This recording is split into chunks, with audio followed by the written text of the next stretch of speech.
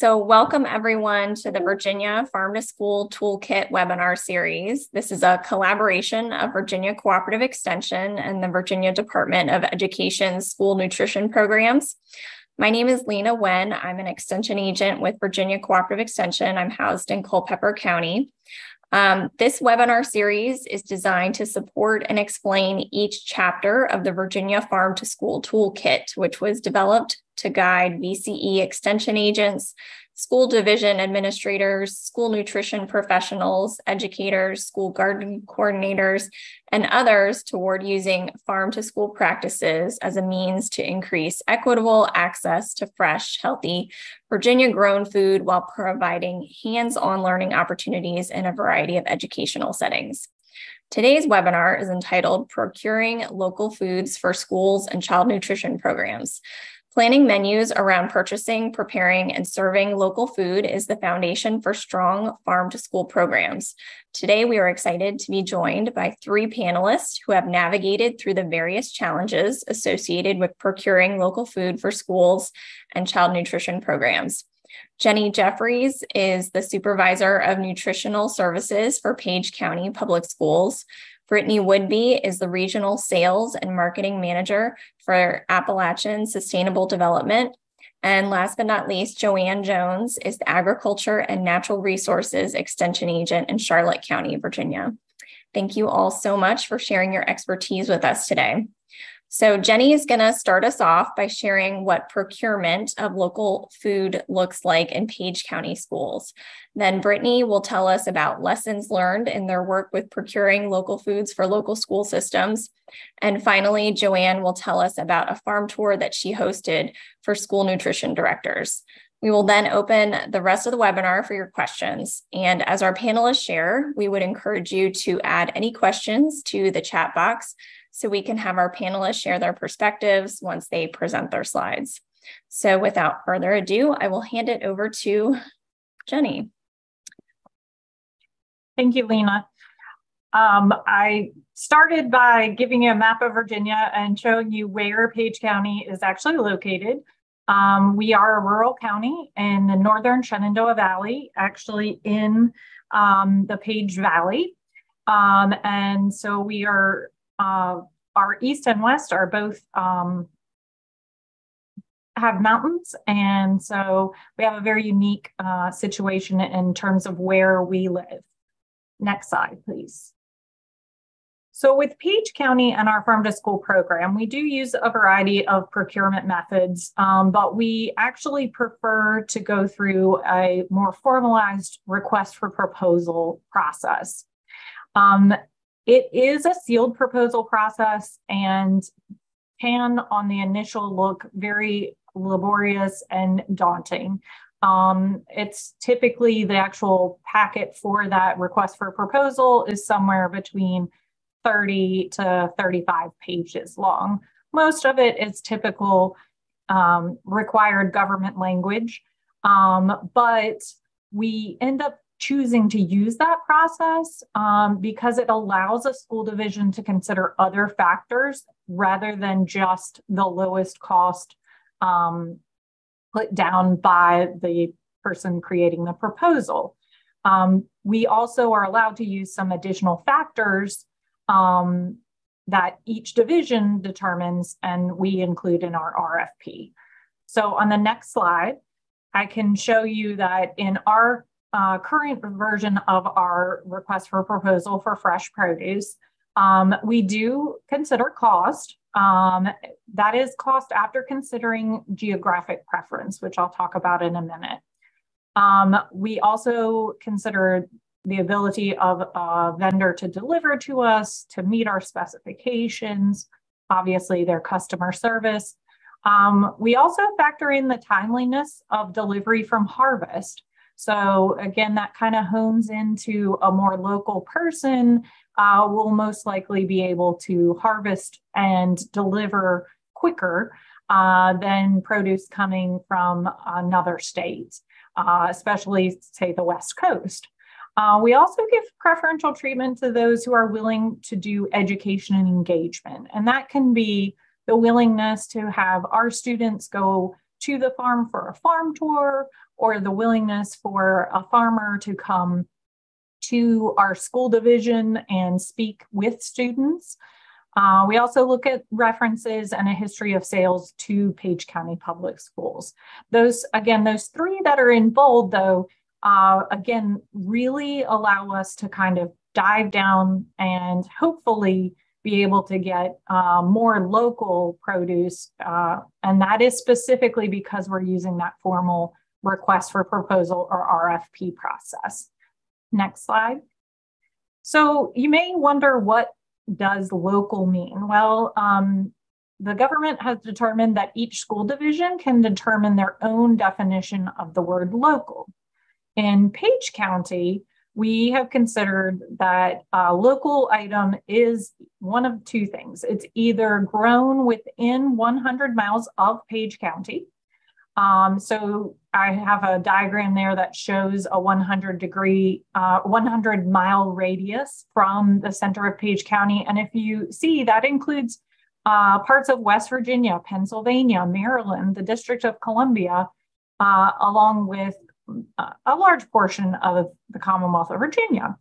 But because we are Virginia, we have additionally said you can either be grown within 100 miles of our county, or if it is grown anywhere within the Commonwealth of Virginia, we also consider it to be local. So we are that is our definition. And again, each division would come up with their own definition of local. So why does the definition of local matter? Next slide. So the government allows in an RFP process to use something called uh, geographic preference. And geographic preference is a price percentage preference that is used solely in the evaluation of that RFP. So we said cost is something that we factor in uh, our determination of who may get um, awarded uh, a particular item. Um, but this geographic preference allows us to drill down to really hopefully encourage the um, use of local produce. And here in Page County, our geographic preference, again, determined by each school division, but in Page County, we have said that we will give a 10% uh, preference to items that are grown within our county a 5% preference to those grown within a 100 mile radius of Page County. And as you recall, that includes parts of West Virginia, Pennsylvania, Maryland, and uh, the District of Columbia. And then if it's grown within the Commonwealth of Virginia, but outside of that 100 mile radius, we give a 3% preference.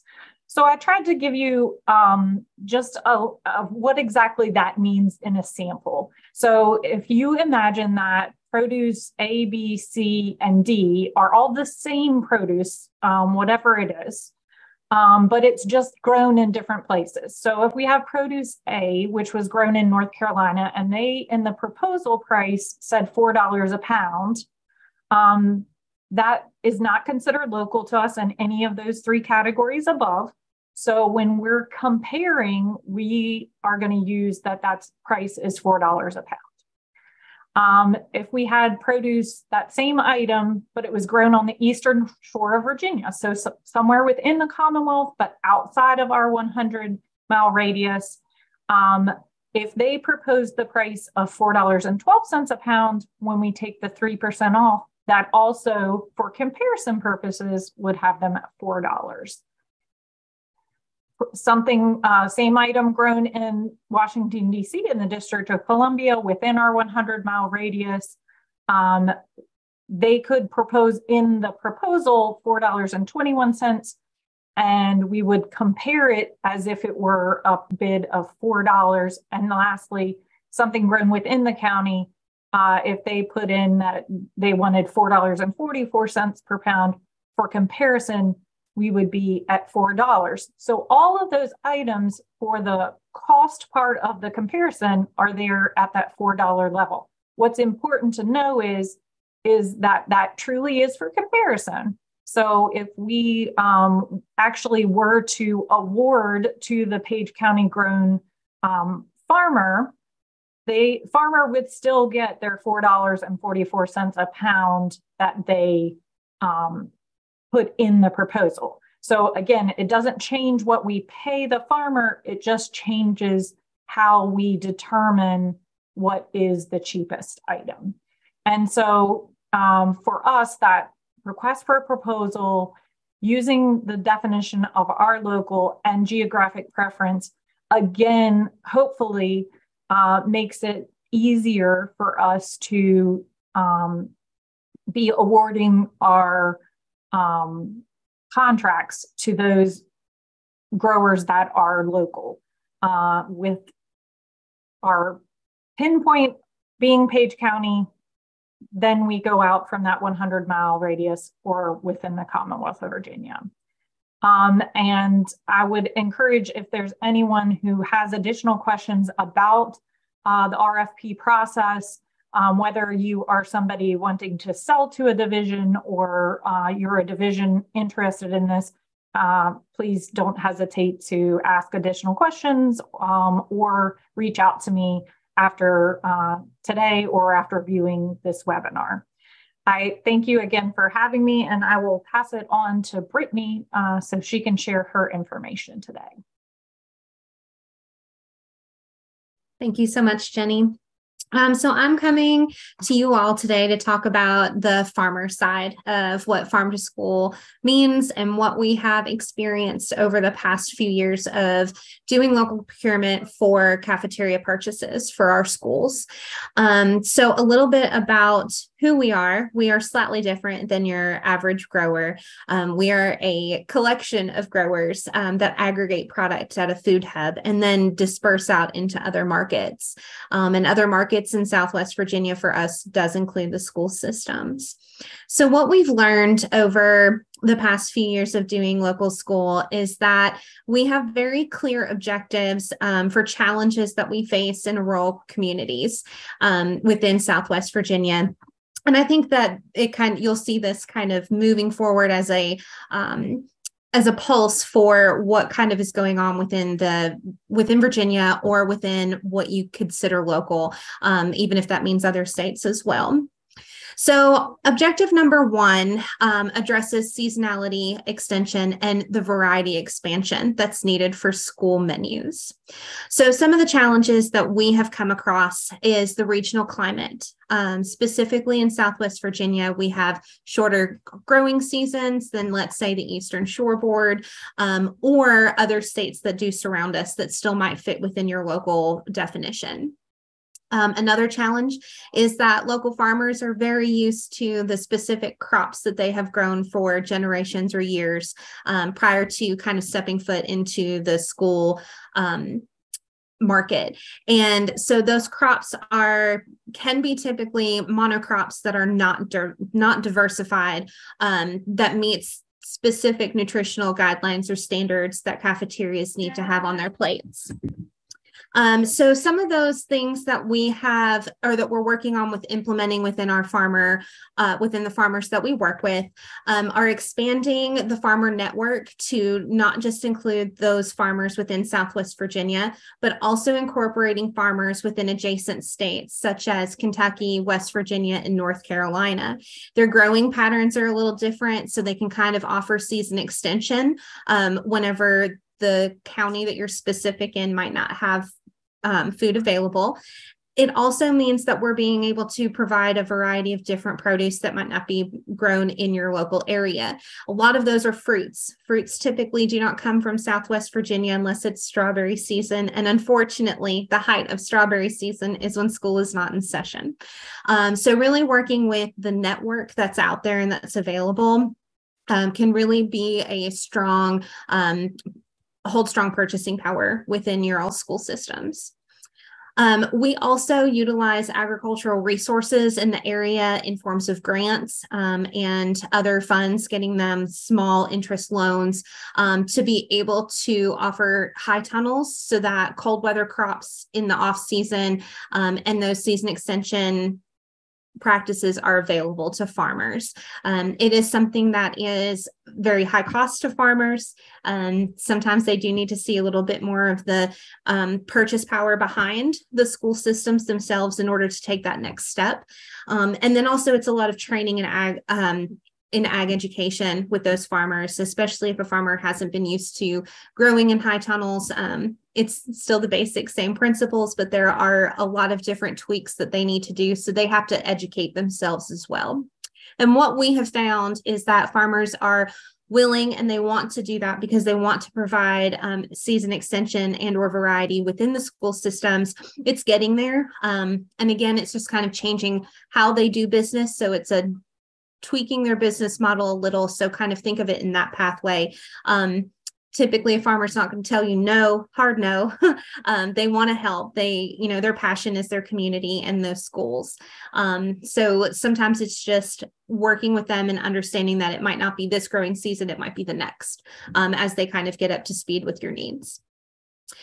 Um, also, we here at Appalachian Sustainable Development at our food hub do offer mentoring and education to farmers, not only on new crops that might be something that they've never grown before, um, such as yellow green vegetables um, that the schools are requesting or possibly putting in fruit bushes um, to help with the expansion of the variety of those particular crops so that you have more to offer on the menu and you're not just held to squash and tomatoes and lettuces.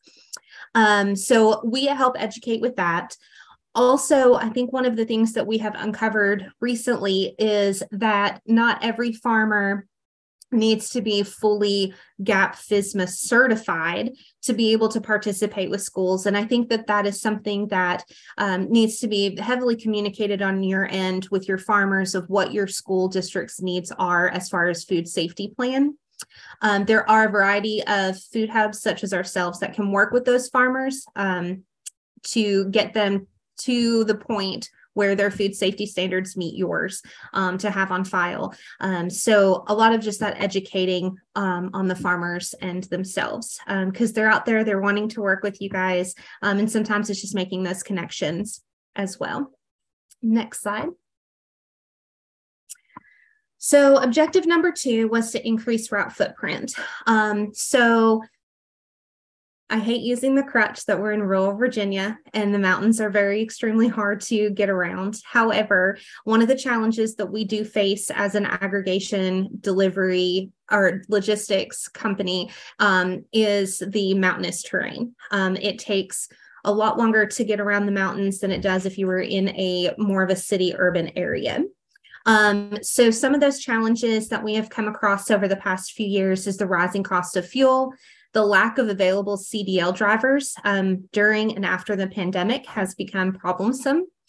Um, and then limited route expansion due to the number of fleet vehicles, specifically for us, and then also for our farmers as well. Um, a lot of farmers that are doing direct um, to cafeteria deliveries there it's one truck it's one person um, so finding solutions to some of these problems um, we are focusing on being more deliberate with delivery stops in each county um, so that might mean that in a rural county, we're doing every other week for fresh local foods um, so that we can hit all of the counties and be a little bit more equitable to um, their menu planning. Um, we also are working with school divisions to have one or two sites, um, high schools or larger scale elementary schools to aggregate orders there, and then working with them to create a process to distribute out to the other schools from that particular one drop um, in that particular city or that particular community. Um, then also, we're continually running route feasibility to analyze and fill the gaps that have been identified.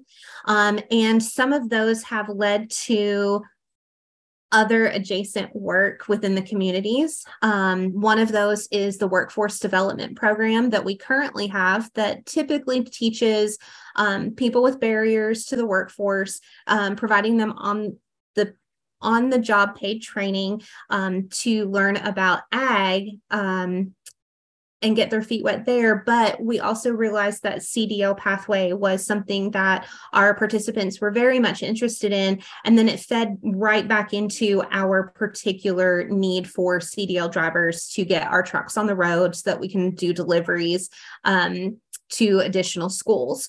Um, so we've actually had two participants come through that particular pathway who have been hired full time by our particular food hub in order to meet that particular need. Also, securing funding for fleet expansion was another big one to increase our route footprint.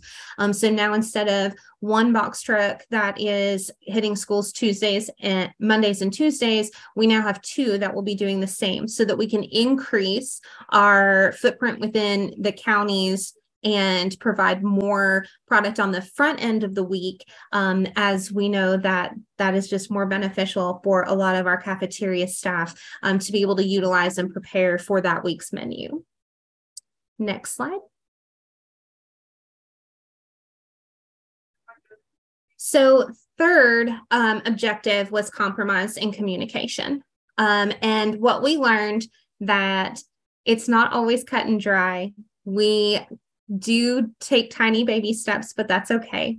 Um, and part of that is compromise um, on both ends. Um, the nutrition directors, when they want local, we have noticed that they step up to the plate and they really do work with us um, on a variety of different things, whether that's pricing, whether that's delivery timelines, whether that's even variety. Um, so creating out of the box solutions for both the farmers and the school nutrition staff so that it is a true win win. Um, on everybody's side. It takes time, it takes a lot of communication, um, and just understanding that we're all in the same community and we all just want things better for our kids um, and the local economic impact of the schools purchasing farmer produce. Also, being understanding that one step leads to creating a path on a large scale. Um, and I think this is important because whether wherever you are in your local um, procurement process, understand that one step forward makes a huge impact. And it really paves the way for building on that year after year, or month after month, or one crop at a time. Um, or maybe it's a cluster of schools at a time. Um, as we would all like to have all the schools have all the local things all at once it's just sometimes not feasible so really being understanding around that one step truly does lead to more um, and it sometimes it only takes that one step to get the ball rolling um, review internal processes and see how those can be updated to better serve school districts. This is something that we've um, been learning and reviewing, and the more understanding that your farmer has about your process helps drastically make changes easier. Um, it helps with the communication and it helps with that communi- that compromise.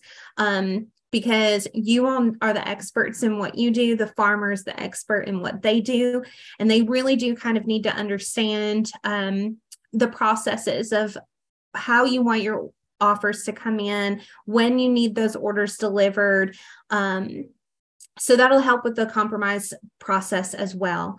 Um, on the communication side, um, just be consistent, um, be realistic.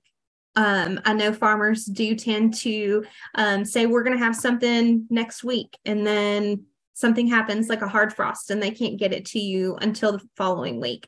Um, so being realistic um, on the farmer's end is key.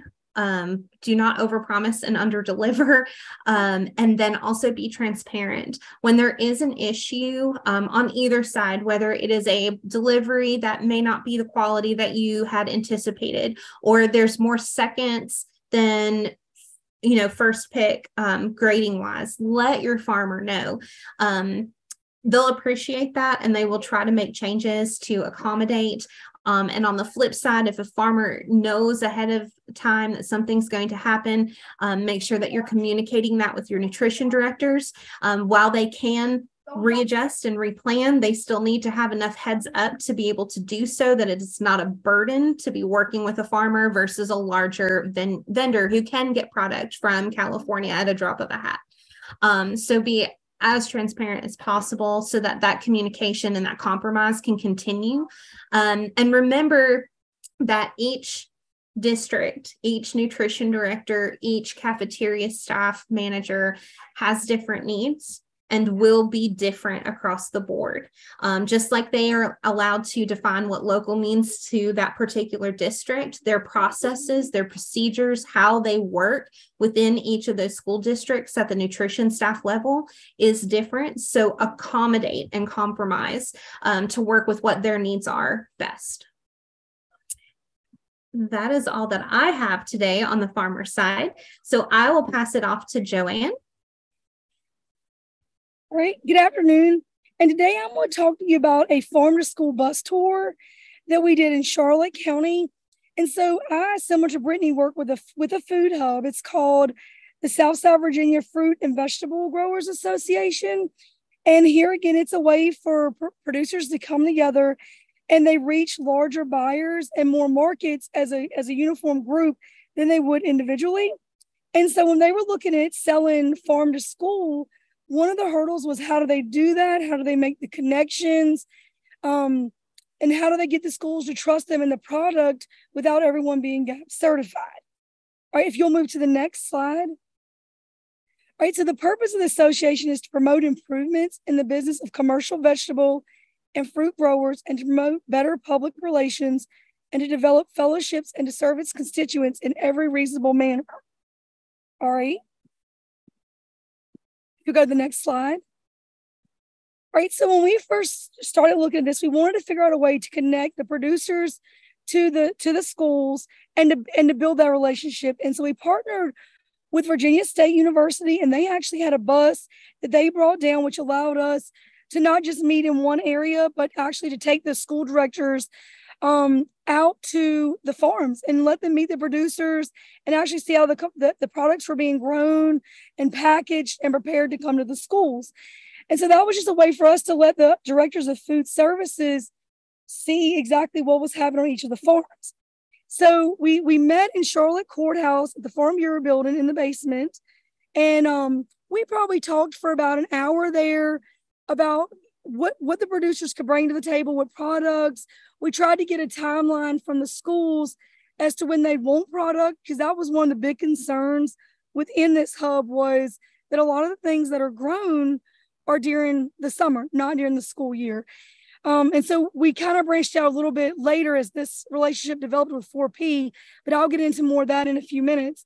And so we met there and we we discussed those things and and did introductions and then we loaded up on the bus, the bus that um, Virginia State University provided, and we were able to go out to different farms and see the different commodities. And the um, the school nutrition directors were able to ask questions to see how things were packaged. We looked at farms that are GAP certified, as well as farms that are not, because a lot of the schools don't require that.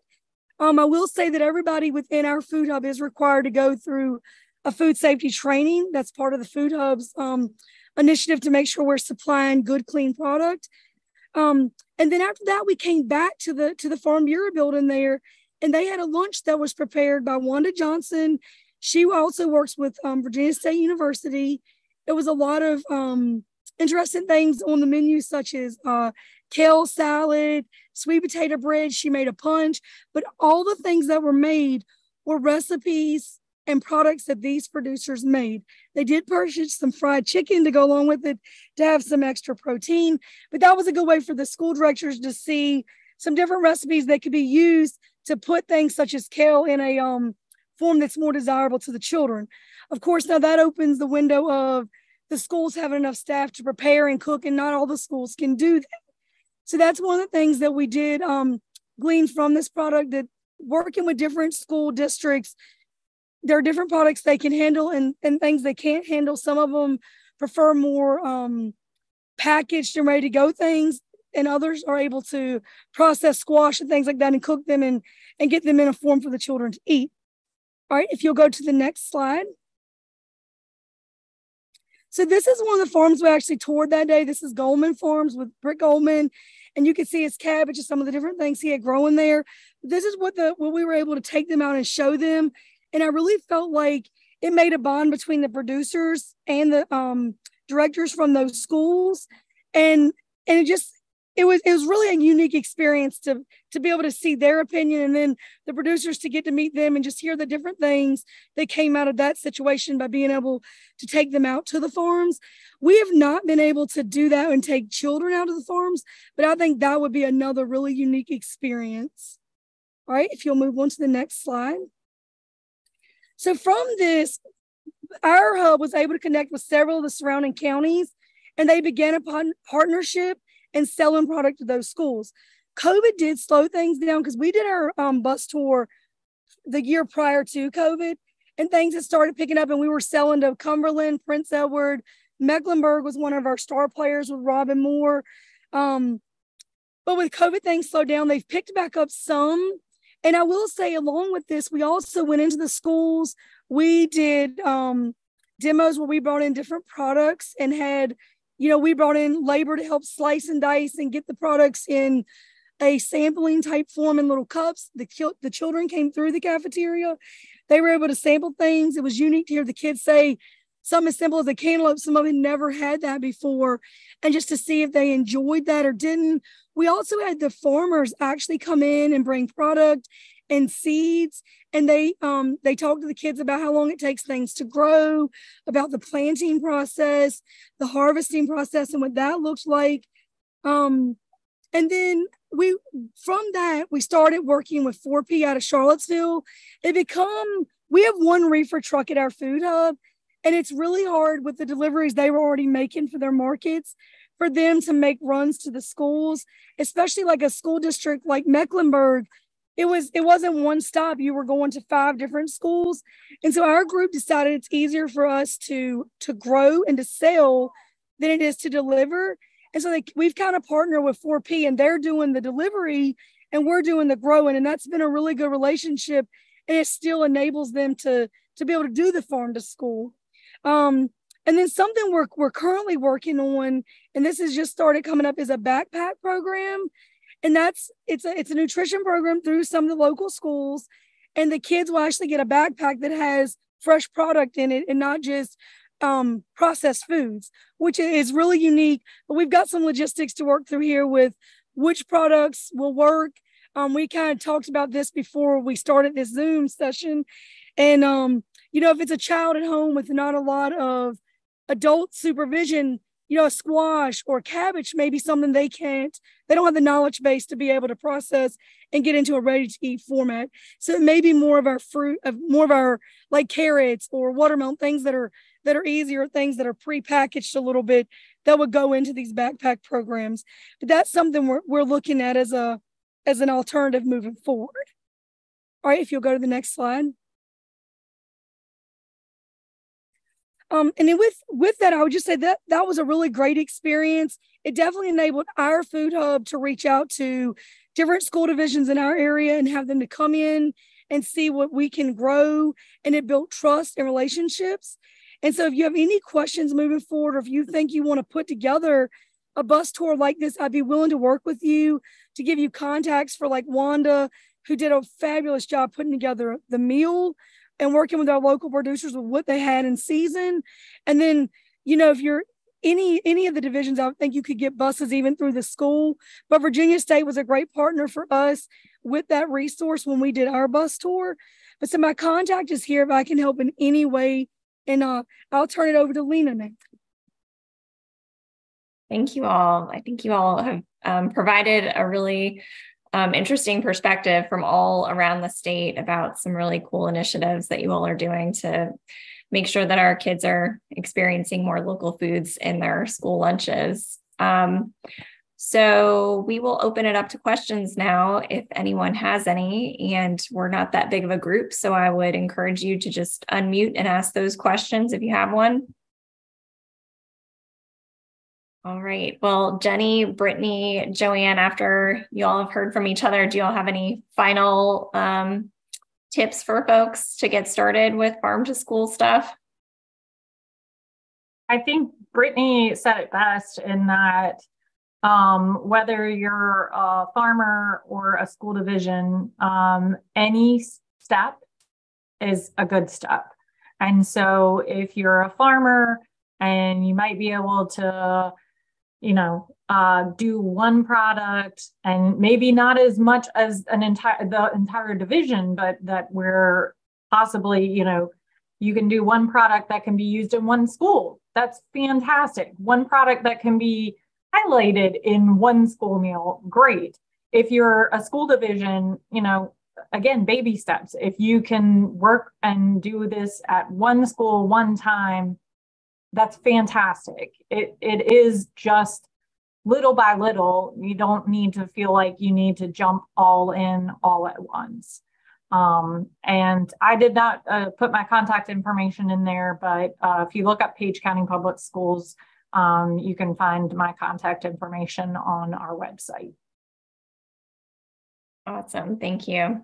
Jenny, I think I heard you share at another conference your experience of using radishes from a school garden in salads. And even though it was just one little tiny slice of radish that each kid's got, it was it was a good first step.